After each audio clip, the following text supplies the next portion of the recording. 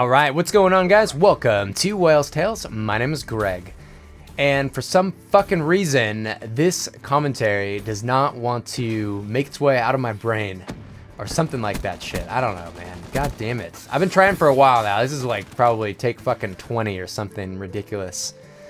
But, uh, man, I'll fucking get it. I got the whole day off. So, I'll, I'm gonna get it one, eventually. Um, anyway, Jesus Christ. This is my farewell to uh, Black Ops 3 video.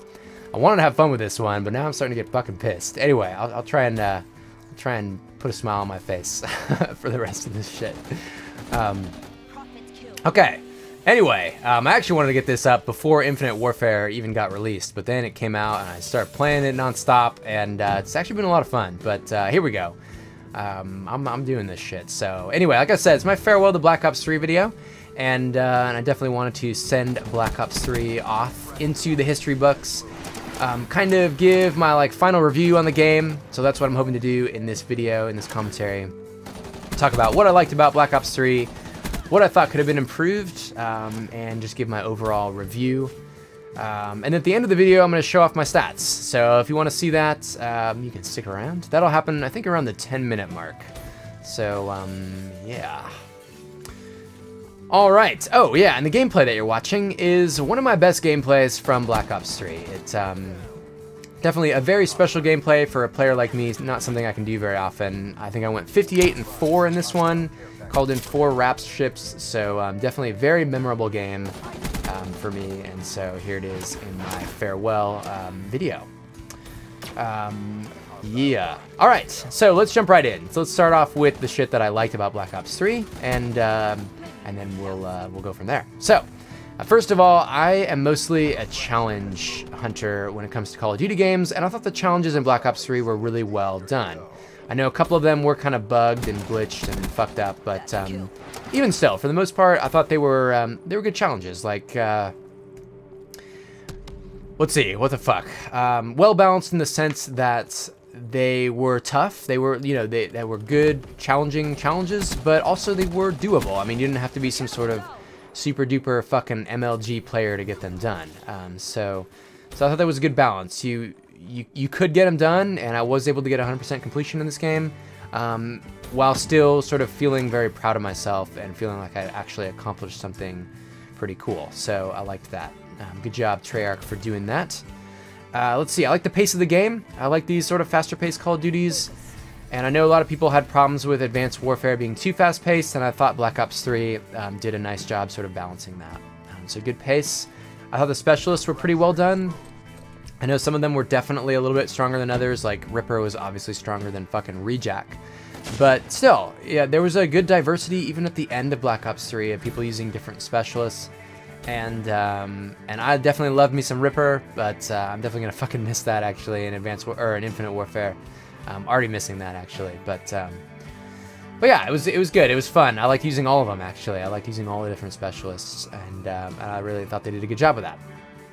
I like the new game modes that they introduced. I liked Fracture a lot. Obviously, it was a great way to earn score streaks, and I like Kill Confirmed and Hardpoint, and I thought it was a really cool sort of conglomeration of those two game modes. Um, so a lot of fun and also a great way to earn score streaks, and then also Safeguard was really unique and it was really um, really good for completing challenges and I think that mostly came down to the fact that you were in a lot of interesting and unusual situations when you played Safeguard just due to the fact that the objective was sort of unlike any other um, in uh, any other Call of Duty game mode. It's very very different game mode. I mean I don't know I thought so um, so it was fun I liked it. Um, thought the the kills could have maybe been worth 75 but uh, other than that Really nice job with that game mode too. Um, I, I, thought the maps were good for the most part. They were, uh, yeah, they were, they were nice. They played well. Um, they had a good flow. So I like the maps. Um, the score streaks were, were pretty fair and balanced, um, and, and they were definitely balanced out by the, the fucking Black Cell launcher, which was a great launcher, man. Holy shit, I love the Black Cell. I'm Gonna miss that. Um, four rockets, man, Jesus, that was nice. Um, but yeah, good score streaks. Couple of exceptions there. Uh, I'll talk about that, but overall I thought the score streaks are good. I thought the spawn logic was pretty good. Um, not too many complaints about weird fucking crazy spawns. So um, mostly pretty good spawn logic. Um, camping was pretty balanced, I thought. Um, it, uh, you know, it was definitely in the game, and it's always going to be in the game, but it wasn't overpowered. Like, you, you, you couldn't just camp it out for an entire game and, you know, post a nuclear, usually. I mean, it was pretty easy to deal with a camper um, in this game. Um, and the weapon balance was fucking amazing, I thought. I mean, Jesus, you could use pretty much every gun. Like, the pistols were good. You could use anything and, and have a good game and um, and that was great. That was really fun. I like using all the weapons, going for weapons camos, so it was nice to uh, to have that be um, that'd be nice. Um, I do have, I guess, like one exception to that, but um, but for the most part, I thought the weapons were really fair and balanced. So good job with those. Um, so that is what I had for my um, the things that I really, or at least that I remembered specifics that I liked about Black Ops 3. And overall, though, I definitely liked the game. Like, I, I, had a ton of fun playing Black Ops 3. I thought it was a really good Call of Duty game. I also really liked Advanced Warfare. Um, and so I'm not sure if I liked it more than Advanced Warfare, about the same, or maybe slightly less. I still can't really decide. But, um, and then it's hard to compare it to sort of the older Call of Duties. Um, I mean, I started with Modern Warfare 2, and then I took a break after Modern Warfare 3. Um, but I don't know, I liked it. It was a good game. Um, but there are definitely a couple things that I thought they could have improved, um, and so let's talk about those real quick too. Um, sniping was not super fun for me in this game. It was like pretty fucking hard. I'm a terrible, shitty, god-awful sniper, so um, so the fact that they re removed aim assist altogether from the bolt action snipers, and they still had booster packs in the game, made sniping sort of completely awful for me.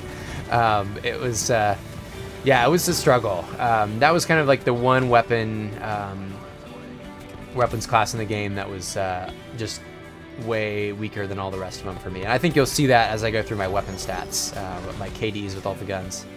Um, so anyway, um, they definitely have kind of, uh, they put aim assist back on on the sniping um, in Infinite Warfare, and I'm having a good time with sniping in that game so far. So um, I don't think it's overpowered in that game, I just think it's a little bit more fair and balanced and, and kind of on par with all the rest of the guns. Um, Sixth Sense was a little ridiculous as far as perks go, and also awareness. Um, I think they've kind of gotten rid of those in Infinite Warfare. I'm not actually sure. There might be like a Sixth Sense style perk in that game. Um, I used awareness a shit ton, and I also used Sixth Sense when going for ninja defuses, but I definitely have to admit that those perks were a little overpowered. Um, let's see. I actually, for some reason, didn't really like Domination in Black Ops 3. I don't know if it was just that I got used to Advanced Warfare Domination. It's super fucking fast-paced and that was like all I played in Advanced Warfare. But anyway, that's just probably a personal problem, I guess. Um, gun game though, I thought they kind of fucked up gun game, and they still haven't brought back um, gun game in, in Infinite Warfare the way I'd like. They um, or I haven't actually played it, but I know that you can't be in a party. Um, and man, I loved playing Infinite Warfare. Or what the fuck am I saying? Um, gun game. fuck, man. Uh, with friends in previous Call of Duties. That was like the fun of it. You, you got to play free for all, but you were like in a party with friends. That was fun. Um, and I wish they'd do that again. But um, I also didn't like the fact that the UAV was on um, all the time in Black Ops 3 and Gun Game. That, that just sort of seemed weird to me. I don't know if they have it that way in Infinite Warfare or not. I haven't played it yet, as I said. But anyway, those are a couple things I didn't like about Gun Game. Um, I also missed the sniping only game mode, and I so far they haven't. They don't have that in Infinite Warfare either and I liked those game modes. Those were fun games. Um, I want those back, so please put those back in the Call of Duty games. Those are fun. Um, the yeah, as I said, some of the challenges were bugged. That was a little annoying, but that wasn't too bad, really. Um, you could kind of figure out what the deal was with them. Um, the power core was kind of the one score streak that was like way more useless than all the rest. It just like it, it just wasn't worth it to go for it. Um, and so I don't think uh, I don't think hardwired should have counteracted it. That that seems strange. Um, so that, that would have been a, a, great way to kind of give it a little bit of a buff. And most of the black market shit, I'm not a huge fan of that. I understand that Call of Duty is a business, or it's a product, you know, Activision's a business, and that's how they make some of their money. So I understand that, um, but, you know, it doesn't mean I have to like it. So, um, so, you know, that's always a little annoying. Um, just the sort of, it wasn't really pay to win, I don't really think, um, but still, I was, you know, was always like, man, I kind of wanted to get the FFAR, and I didn't ever get it. So, so that was a little frustrating. Um, kind of just kind of, kind of was a little bit of a drag after a while, but, um, yeah, but whatever. I mean, that's seriously, I'm not, it doesn't bother me as much as I think it bothers some people. Um, because I did get some fun supply drop weapons, like the one I'm actually using in this game, the uh, R70 Ajax, which was definitely not the best gun in the game at all. but it was fun to use, um, and uh, and I actually managed to have a really good game with it here. So. Yeah, that's, um, oh, and one last thing, I guess, actually, sometimes the team balancing was a little fucked up. I, I mean, there were times where I'd lose like 10 games in a row, and I'd be like, God damn it, put me on a fucking winning team once in a while. Um, so, but no, I, I, overall, Black Ops 3 was a ton of fun, and I, I really thought they did a nice job with it. So anyway, here we go, we got the stats now. So, um, you saw my overall KD, I think 1.38, score per minute, 2, 249. I was trying really hard to get that up to 250, but I, I fell just short. I, I, played very slow at the beginning of this game. You used a lot of HCXDs and shit, and uh, manually controlled Cerberus. That's my plural for Cerberus. Um, so here's my, uh, here's my, uh, yeah, my weapon stats, my KDs and shit. As you can see, the snipers are really low. Everything else is usually above one, except for I think the Weevil um, was pretty low because that's what I was using when I was going for thermite kills. So I, I destroyed the Weevil, and also the Dingo I had on my like anti-score streak class when I'd be getting just fucked by raps and wraiths and shit. And so um, the dingo kind of got uh, damaged a little bit as far as KD goes. But um, I actually really like the dingo. It was a great gun. Um, yeah. So anyway, um, I don't know what's up with the black hat stats. Um, somebody somebody hacked my black hat stats, right? Huh? Uh, so anyway, let's see what else we got here. Yeah, here we go. Um, specialists.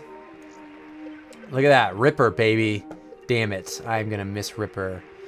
Oh, well. Um, it was fun while it lasted. I definitely don't think it was super fair. I mean, that was one thing that was probably a little overpowered in Black Ops 3. I have to admit it. Um, but, oh my god, it was so fun to use. All the rest of these, I mostly just use for the hero challenges. Um, Except for combat focus, I used a lot of combat focus um, for getting streaks, like I was using combat focus in that gameplay. Um, and um, yeah. So I'm not sure why glitch says 99. That should say 100 because you needed 100 to get 100% completion. So that's there's a glitch in my glitch stats. Man, this game is just giving me the puns um, or these stat whatever.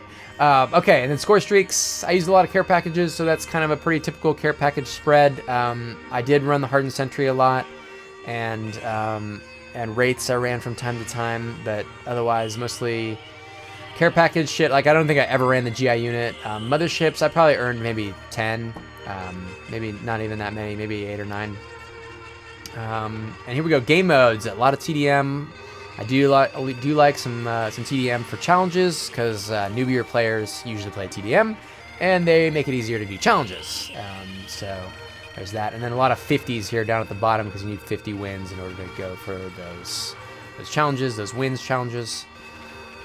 Um, so there's all that shit. Um, next up, I think we've got medals.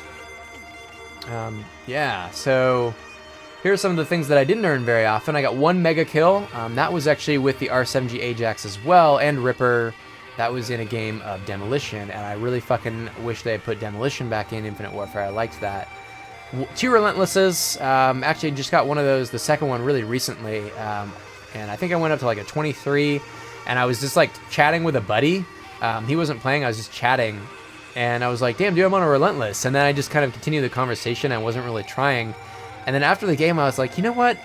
I probably could have gotten a nuclear that game. I've never gotten a nuclear. Why didn't I, like, focus up? I don't know. I don't know what it, uh, it didn't register in my head, but whatever. Anyway, um, what are we looking at here? Uh, oh yeah, specialists. Um, got that one erased medal. Look at that. Three or more kills with the hive. I didn't use the hive hardly. I, am sure I could have gotten more of those. I remember getting that one though. I was like, oh shit, that's cool.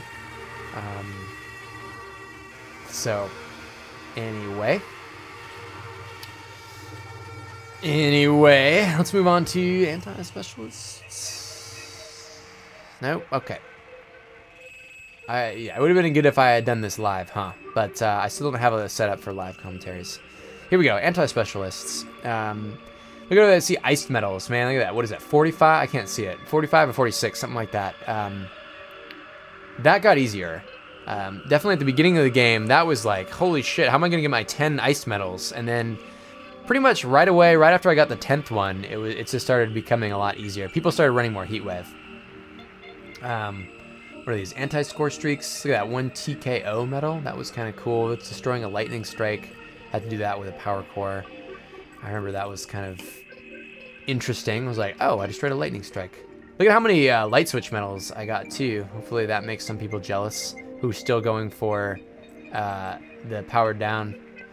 There were times when I destroyed power cores and I already had the power down challenge done and uh, I felt like a huge dick. But um, whatever. yeah.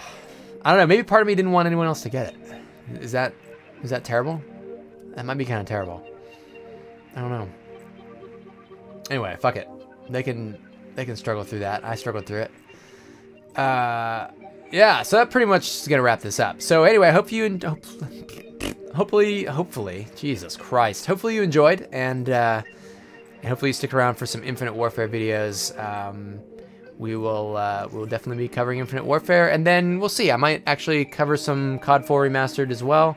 Um, depends on how quickly I move through Infinite Warfare challenges. So um, yeah, that's what we got coming up. So hope you're having a great day, and I'll catch you later. Peace.